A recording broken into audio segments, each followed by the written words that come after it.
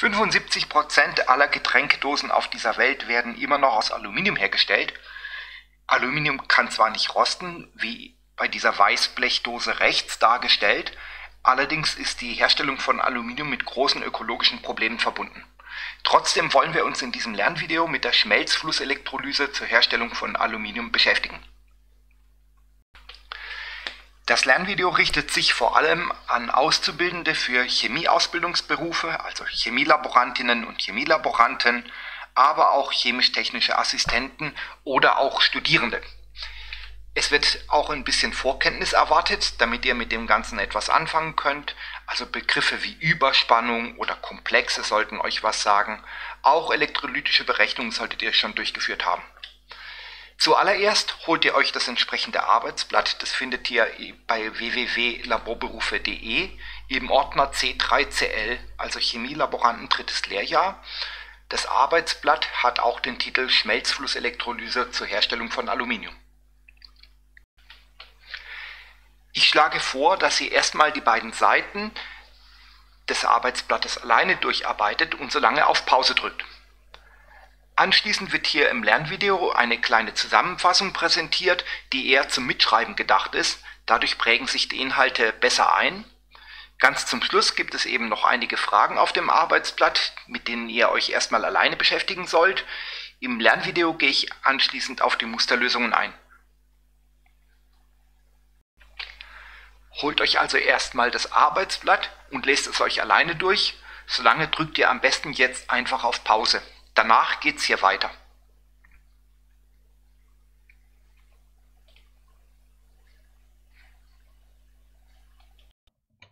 Ich empfehle Ihnen, folgende Inhalte handschriftlich rauszuschreiben, weil dadurch prägt sich das deutlich besser ein. Als Ausgangsstoff für die Aluminiumherstellung kann man nur Mineralien nutzen, weil Aluminium ist so unedel, dass es nicht gediegen vorkommt, also nicht elementar, sondern nur in Form von Verbindungen. Man nutzt hierzu das Bauxit, das ist ein rotes Erz, was eben durch diese Eisenanteile seine Farbe bekommt. Wenn man das Ganze jetzt aufschließt mit Natronlauge, dann bleibt der Eisenanteil als festes Eisenoxid zurück, während der Aluminiumanteil in Lösung geht in Form des Tetrahydroxidoaluminatkomplexes. Diese Lösung, die wird anschließend verdünnt, dann wird sie gleichzeitig gekühlt und wenn man noch Impfkristalle dazu gibt, dann fällt aus diesem Komplex die, das Aluminiumhydroxid aus und das wird anschließend noch zum Aluminiumoxid geglüht. Das ist nämlich dann der Ausgangsstoff für die Schmelzflusselektrolyse. Ich würde jetzt auf Pause drücken und die Fragen 1 bis 3 beantworten auf dem Arbeitsblatt. Ganz am Ende des Lernvideos werden die Musterlösungen zu diesen Aufgaben präsentiert. Bei der Schmelzflusselektrolyse könnt ihr folgende Zusammenfassung übernehmen.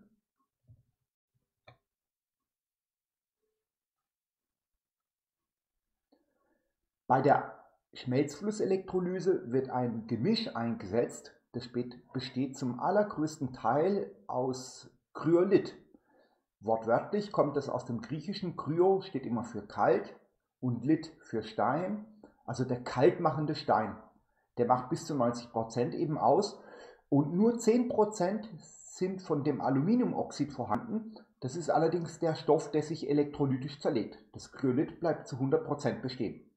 So, das Kryolit für sich alleine hätte einen Schmelzpunkt von 1000 Grad Aluminiumoxid für sich alleine hätte einen Schmelzpunkt von ca. 2000 Grad.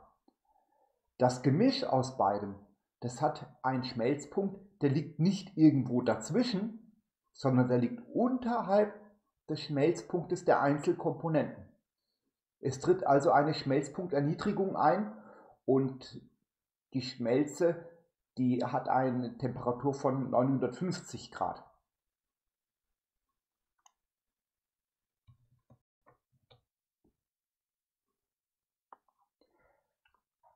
An der Kathode kommt es zur Reduktion, das heißt die Aluminiumionen Al3+, die nehmen Elektronen auf und es entsteht Aluminium. Das ist ein Vorgang, bei dem Elektronen benötigt werden, der findet am Minuspol statt. An der Anode könnte man jetzt meinen, dass entsprechend Sauerstoff entsteht, weil ja hier die O2-Ionen entladen werden, also die Elektronen abgeben.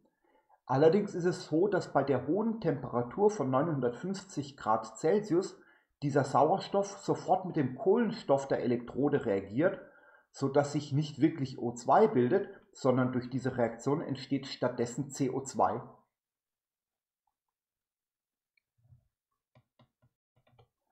Wenn man sich die Abbildung auf dem Arbeitsblatt anschaut, so stellt man fest, dass gar keine externe Hitzequelle vorhanden ist. Es wird aber bestimmt eine benötigt, weil schließlich schmilzt die Flüssigkeit, also das Gemisch, bei 950 Grad Celsius, so dass sich eben die Frage stellt, wie kommt man zu so hohen Temperaturen? Der elektrische Leiter, in diesem Fall die Schmelze, hat einen sehr hohen elektrischen Widerstand. Und immer wenn Strom fließt durch einen Leiter mit hohem Widerstand, kommt es zu einer starken Wärmeproduktion. Das wurde ja zum Beispiel früher auch ausgenutzt bei den klassischen Glühbirnen, wo man auch Strom durch einen dünnen Metallfaden geleitet hat und der daraufhin zu glühen angefangen hat. Der hohe Widerstand der Flüssigkeit führt eben zu einer starken Wärmeentwicklung. Es ist also eine sozusagen eine Widerstandsheizung und durch den elektrischen Strom selbst wird also die nötige Temperatur erzeugt. Als unedles Metall reagiert Aluminium spontan mit Sauerstoff und es führt dazu, dass ein Aluminiumgegenstand an der Oberfläche immer eine solche Aluminiumoxidschicht trägt. Diese Aluminiumoxidschicht, die ist transparent, so dass der metallische Glanz des äh, darunterliegenden Aluminiums erhalten bleibt. Diese Aluminiumoxidschicht, die ist durchgängig und die verhindert, dass Sauerstoff oder andere Chemikalien das darunterliegende Aluminium chemisch angreifen können. Sie schützen also das Aluminium, man spricht auch von einer Passivierung.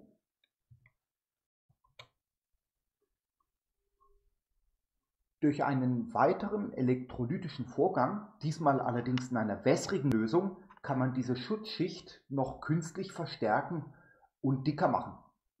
Dazu muss man eben das Aluminium als Anode schalten, deswegen spricht man auch von einem Anodisieren. Und was man eben so herstellt, ist das Eloxal, das elektrisch oxidierte Aluminium. Und wenn man da eben noch elektrolytisch weiteres Aluminiumoxid abscheiden lässt, dann entstehen solche Poren und in diese Poren lassen sich leicht Farbpigmente einlagern. Anschließend müssen diese Poren auch noch versiegelt werden, aber so bekommt man eben gefärbtes Aluminium, das besonders geschützt ist durch eine starke Aluminiumoxidschicht.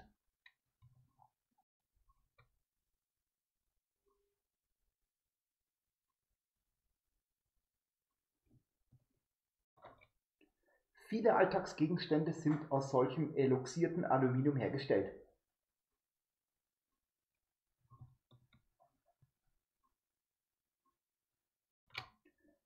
An eurer Stelle würde ich jetzt auf Pause drücken und die Fragen 4 bis 10 beantworten. Anschließend werden hier die Musterlösungen der Aufgaben präsentiert.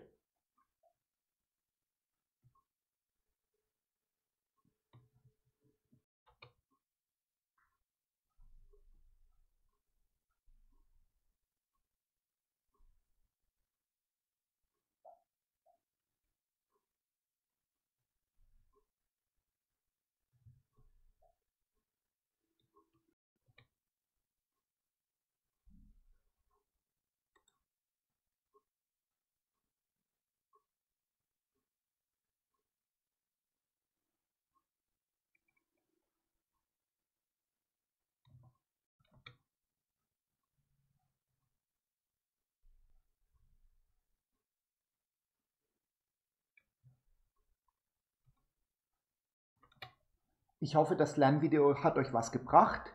Alles Gute und bis zum nächsten Mal.